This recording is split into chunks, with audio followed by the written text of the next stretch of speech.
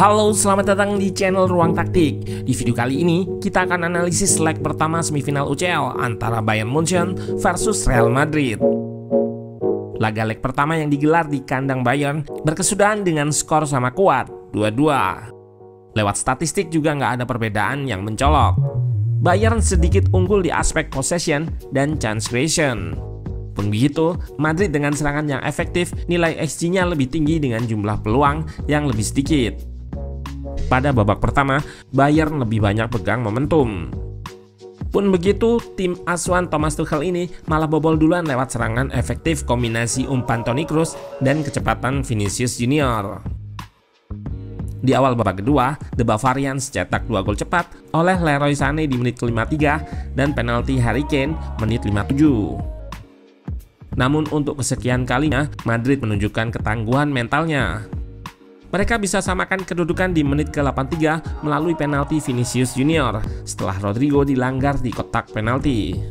Nah, penasaran dengan jalannya laga dari segi taktikal? Let's go, kita bahas sama-sama. Bayern Munchen turun dengan formasi 4-2-3-1. Eric Dyer dan Kim Min Jae di jantung pertahanan, diapit oleh Kimmich dan Mazraoui di posisi fullback. Goretzka dan Konrad Leimer bermain sebagai gelandang jangkar di lini tengah. Harry Kane sebagai striker tunggal ditopang oleh Musiala, Leroy Sané, dan Thomas Müller. Sementara itu sang tamu, Real Madrid turun dengan formasi 4-4-2.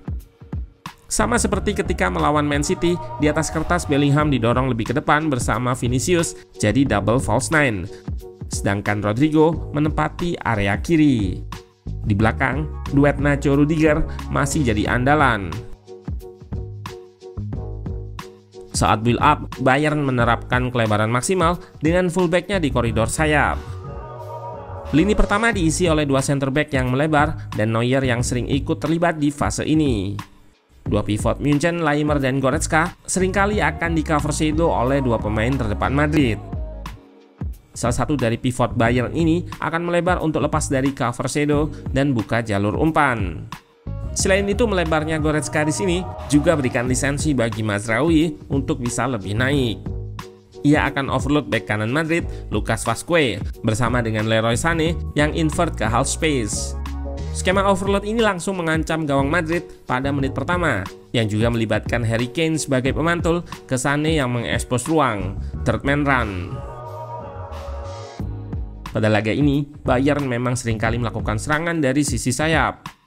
Selain overload serangan di sisi kiri melalui Sane dan Mazraoui, Bayern juga menerapkan overload di sisi kanan dengan tiga pemain di area tersebut, yaitu Thomas Müller, Musiala, dan Kimmich. Kim Min Jae dan Leimer juga beberapa kali ikut naik. Pun begitu, Madrid bisa merespon serangan Bayern Munchen dengan baik. Setelah peluang Sane di awal laga tadi, mereka langsung merespon dengan Valverde yang turun untuk bantu Vasquez cover sisi kanan pertahanan. Valverde marking Mazraoui, sedangkan Vasquez bisa lebih nero ke tengah untuk marking Sane. Sama seperti di laga versus Man City, Madrid bisa menggalang pertahanan yang kompak dan cukup pede untuk bermain tanpa possession. Bayern pun banyak melakukan sirkulasi untuk menggeser blok pertahanan Madrid, dan membuka celah yang bisa dimanfaatkan. Namun saat ada celah terbuka pun, para pemain Madrid bisa melakukan recovery dengan baik.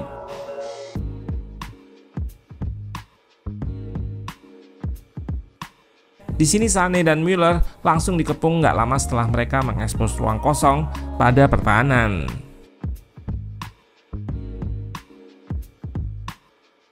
Sama seperti Bayern, Madrid juga menggunakan kelebaran maksimal saat build up dan juga menerapkan rotasi posisi dengan Kroos yang turun ke samping dua center back bersama dengan Mendy yang akan bergerak naik. Namun sebetulnya di awal build up nggak begitu berjalan dengan baik. Bangun serangan mereka sering gagal sebelum masuk ke area pertahanan Bayern. Back-back Bayern cukup agresif untuk menutup pemain Madrid di ruang antar lini di sini, Kim Min Jae berhasil intercept bola dari Vini yang langsung dikonversi jadi serangan balik.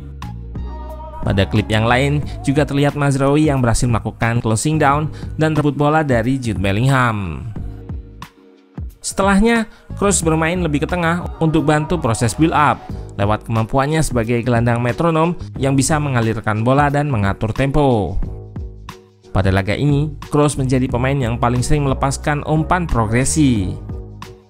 Real Madrid belum melepaskan satu tembakan sama sekali hingga menit ke-23. Namun mereka berhasil mengejutkan Bayern dengan gol yang mereka ciptakan di peluang pertamanya. Gol ini bermula ketika mereka berhasil menarik blok pertahanan Bayern merapat ke sisi kanan serangan Madrid. Vini bergerak turun untuk mengekspos ruang di lini tengah. Pergerakannya diikuti oleh Kim Min Jae yang meninggalkan ruang kosong di belakangnya. Vini lewat kecepatannya langsung balik badan untuk mengekspos ruang tersebut bersamaan dengan Kroos yang melepaskan umpan terobosan.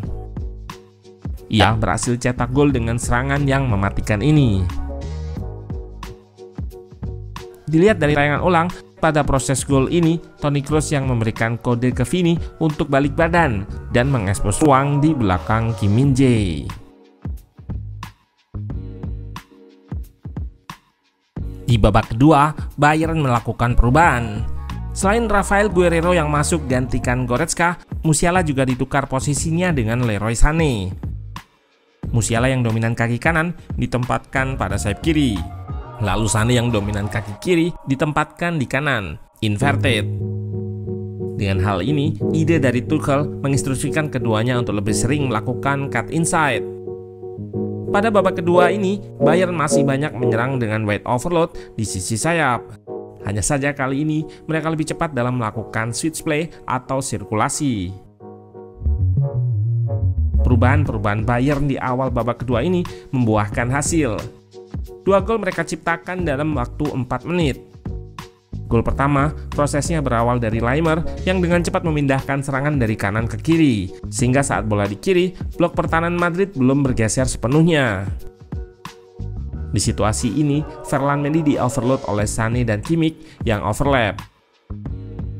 Sane berhasil memanfaatkan ruang untuk melakukan cut inside dan melepaskan tembakan dengan kaki kirinya ke tiang dekat gawang Lunin dengan keras. Gol kedua dari titik putih, namun sebelumnya ada proses yang hampir sama dengan gol pertama. Thomas Müller yang dapat umpan progresi di ruang antar lini langsung ubah serangan ke sisi kanan. Terlihat Vasco diikat oleh Guerrero yang naik. Valverde masih di depan sehingga Musiala bebas menerima switch dari Müller. Wonderkid Jerman itu melakukan cut inside dan dilanggar di kotak penalti.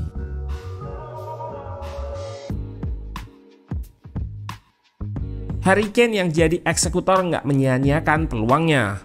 2-1, Bayern Munchen kembali unggul. Situasi berbalik bagi Real Madrid.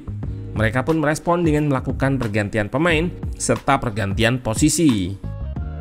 Kamavinga masuk menggantikan Nacho, sehingga Chouameni ditarik mundur sebagai center back bersama Rudiger. Selanjutnya, Modric dan Brahim juga dimasukkan. Terlihat Rodrigo yang posisinya digeser kembali ke sayap kanan. Sisi kiri diisi oleh Ferland Mendy. Masuknya Luka Modric langsung memberikan ancaman dengan umpan lambungnya mengekspos ruang di belakang garis pertahanan Bayern. Lagi-lagi Kim Min Jae terekspos. Akhirnya pada menit ke-83, Madrid berhasil samakan kedudukan berawal dari aksi individu Vini dan Rodrigo yang masuk ke tengah. Pemain nomor punggung 11 ini dilanggar oleh Kim di kotak penalti. Vini jadi algojo dan berhasil menjebol gawang Neuer untuk kedua kalinya. Pada akhir laga, Tuchel secara terbuka mengkritik Kim Min Jae yang menurutnya terlalu greedy atau diartikan terlalu bernafsu untuk segera merampas bola. Laga ini menyajikan pertarungan dua pelatih yang saling melakukan respon dengan perubahan taktikal yang mendetail guna menemukan celah pertahanan lawan. Sama kuat di leg pertama, peluang masih terbuka bagi kedua tim untuk menyegel satu tempat di partai puncak nanti. Santiago Bernabeu akan jadi saksinya.